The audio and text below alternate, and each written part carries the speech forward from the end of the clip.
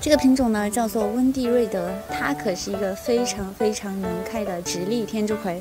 像现在这样爆花呢，它能持续半年以上的时间，在我们大成都地区。那这个品种呢它的整个株型呢是属于那种天生分枝性比较好，天生株型紧凑圆润。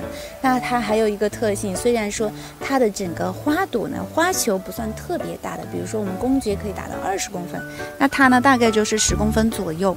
那它的单朵花期却长的不得了，而且它的单花颜值非常高，它是属于一个超重瓣，带鲑鱼粉色，又不是属于纯粹的一个纯色调，它的颜色会有初开和到后期颜色会出现变化，所以说它可能同时一株同时呈现几种颜色。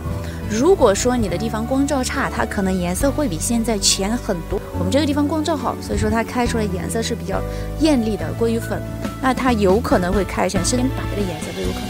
那这个品种，它的花茎也多得不得了。第一波还没开完，第二波就已经在开始出花了。所以呢，我要强烈推荐给大家。